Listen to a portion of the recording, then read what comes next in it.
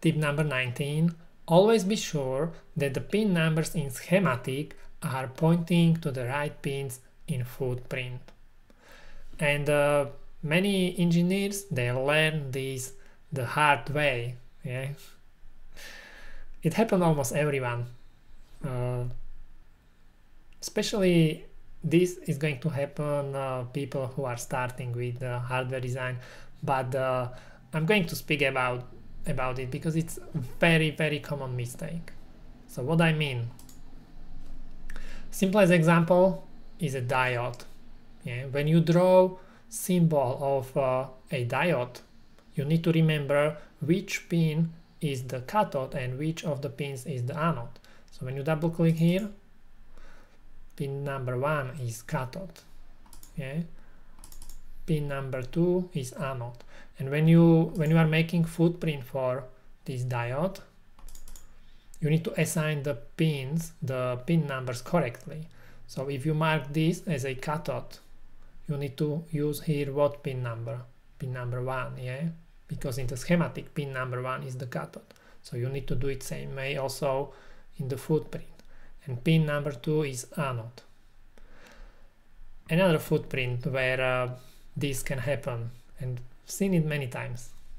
And it's, it's really bad mistake. Very unpleasant mistake because it's so hard to fix this kind of mistakes. Transistor okay? If you have a transistor be sure you mark the pin numbers correctly. So pin number one is the gate. Yeah, pin number one is the gate. Pin number two is the source. Pin number two is the source. Three is drain. Three is drain. Okay. Then when you go into PCB, oops, here is the transistor.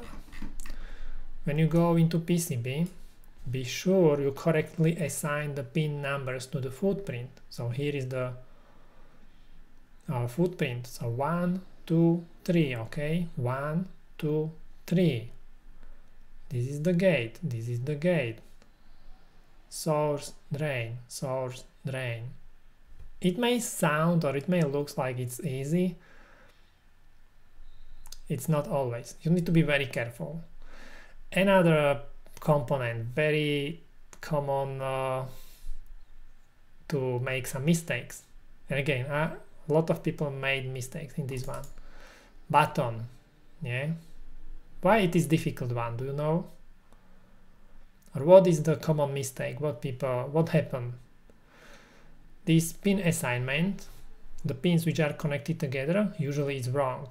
So when you press the button nothing is going to happen yeah so be very careful. Have a look into datasheet and check what pins are connected together. One and two are connected together.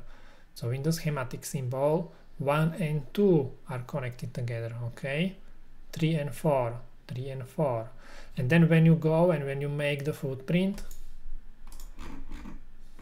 let's go here. Be sure you assign the pins as described in the datasheet. 1, 2, 3, 4 one two three four. Again looks simple. A lot of people make mistakes in this uh, simple stuff. So be very careful. Tip nine, number 19 always be sure that the pin numbers in schematic are pointing to the right pins in footprint. Why because it's one of the silly mistakes which you can make while creating a new component. It is often very hard to find and fix. Many times board has to be redesigned.